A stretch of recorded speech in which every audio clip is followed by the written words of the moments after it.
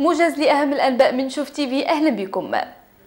أفادت بعض مصادر شوف تي في أن باراك أوباما في طريقه إلى التراجع عن القرار الأمريكي القاضي بتوسيع مهمة المينورسو في الصحراء. وأفادت المصادر ذاتها أن وزير الدفاع تشاك هاغل أبلغ أوباما على أن ما قامت به سوزان رايس مندوبة الولايات المتحدة لدى مجلس الأمن ووزير الخارجية جون كيري خطوة سيئة. وبحسب المصادر ذاتها فإن الخطوة تبقى معزولة وليست قرارا استراتيجيا انطلق من البيت الأبيض والبنتاغون حيث حيث عبر وزير الدفاع تشاك هاكل عن استيائه من الخطوة معتبرا إياها بأنها غير محسوبة ولا يمكن المجازفة بحليف استراتيجي ومهم من حجم المغرب. أكد مجلس الحكومة اليوم على موقف المغرب الحازم والثابت برفض تغيير طبيعة مهمة المينورس وأبرز وزير الاتصال الناطق الرسمي باسم الحكومة مصطفى الخلفي عقب الاجتماع الأسبوعي لمجلس الحكومة أن المجلس استمع لعرض حول تطورات قضية صحراء حيث جرى التأكيد على ضرورة تكثيف التحركات الدبلوماسية من أجل شرح موقف المغرب.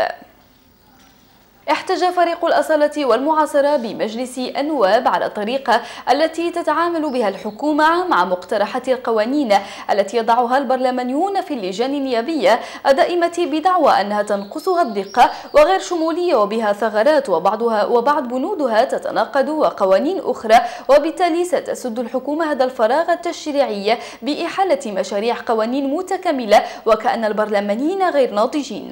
دعت الشركة الوطنية للطرق السيارة السيارة بالمغرب مستعملي الطريق سيارة إلى تفادي التنقل ما بين الخامسة زوالا والثامنة والنصف مساء من يوم الأحد المقبل الذي يصادف نهاية العطلة الربيعية. وحطت الشركة في بلاغ لها اليوم مستعملي الطريق السيارة على تفادي التنقل على شبكة طرق السيارة ما بين الفترة الزمنية الخامسة زوالا إلى الثامنة والنصف مساء من يوم الأحد الواحد والعشرين أبريل الذي يصادف نهاية العطلة الربيعية. وذلك بالخصوص عند محطات الأداء سيدي البحراوي بوزنيقة بوسكورة برشيد موراكش النخيل.